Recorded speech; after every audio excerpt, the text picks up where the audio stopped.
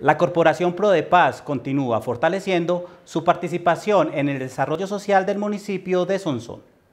Muestra de esta vinculación se encuentran los programas y proyectos que se vienen ejecutando en articulación con diferentes estamentos del orden local. Dentro de esos procesos tenemos, venimos avanzando en el acompañamiento desde el fortalecimiento organizacional a la plataforma juvenil de acá del municipio y será un trabajo pues que continuaremos en este primer semestre del año 2019.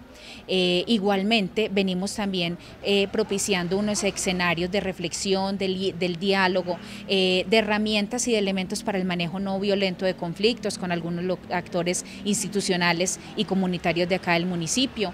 Eh, vamos también prontamente a tener un juego que se llama el Colombiao, Juego por la Paz. Es un juego donde promovemos eh, los valores, el respeto, eh, la no competencia, sino más un compartir entre las personas que hacen parte de este juego.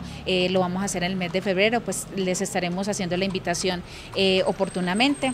De igual forma, se encuentra un diplomado en liderazgo comunitario, articulación social y territorio. De acá del municipio vienen participando 15 personas y está certificado por la Universidad Católica de Oriente, uno de nuestros asociados a la Corporación Pro de Paz. Entonces también estaremos dando continuidad pues como a ese diplomado en articulación social y territorio.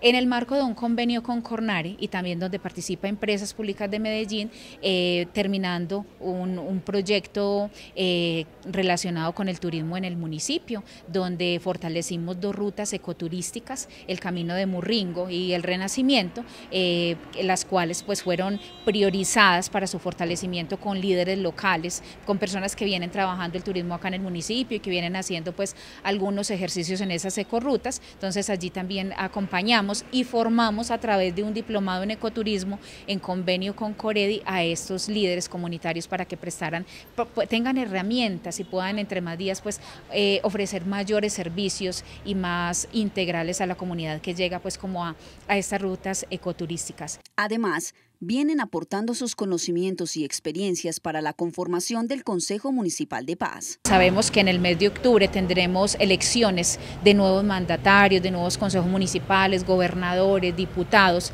Entonces, estos consejos municipales de paz van a estar trabajando también en torno a una agenda ciudadana para la construcción de paz, una agenda ciudadana que también venimos nosotros acompañando metodológicamente y venimos también facilitando para que se cree, para que se apropie por la comunidad y sea presentada a esos candidatos que van a estar en las, a las alcaldías y a los consejos municipales durante este año y sea esa la hoja de ruta que, y digamos los elementos importantes que sean tenidos en cuenta por esos candidatos para que sean incluidos en esos programas de gobierno para estas próximas elecciones. La Corporación Pro de Paz también viene realizando un acompañamiento al proceso de formulación de la política pública de familia.